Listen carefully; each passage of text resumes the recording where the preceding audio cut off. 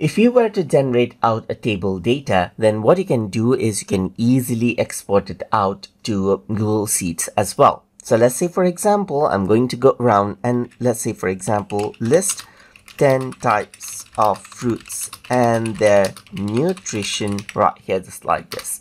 And I'm going to go around and say, list this in a form of a table right here, uh, just like this as well. So once I go around and do that, you can see that I get 10 fruits and their nutritional benefits right here, just like this. And this is in is this is in a form of a table. And now you can see that export to sheets is an option as this is a table.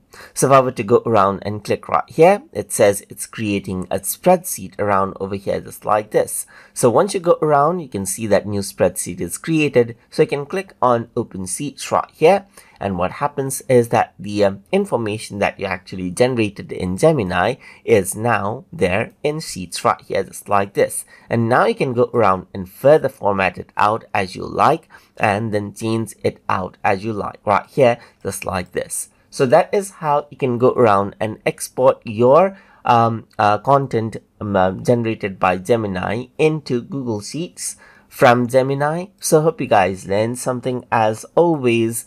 And as always, please like, comment, share, and subscribe.